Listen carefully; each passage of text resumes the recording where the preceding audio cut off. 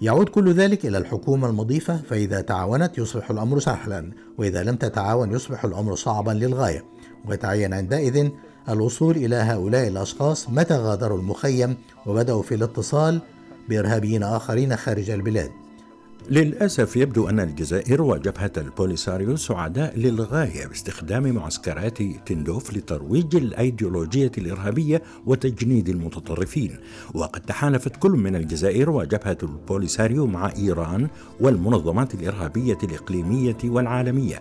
لذلك أعتقد أن علامات خطر هناك فيما يفعلونه. ربما يتعين علينا أن نبدأ في النظر إلى الجزائر باعتبارها حليفا لإيران بشكل أساسي. أكد آخر تقرير للمنظمة الدولية غير الحكومية للنهوض بالتنمية الاقتصادية والاجتماعية بأن مسؤولي جماعة البوليساريو يواصلون استغلال المدارس والمناهج التعليمية من أجل تلقين الأطفال أيديولوجيات التنظيم المتطرفة والدعوة إلى العنف والكراهية وتمجيد الحرب وما يوهمون الأطفال بأنه بطولات عسكرية أوليس هذا بإرهاب؟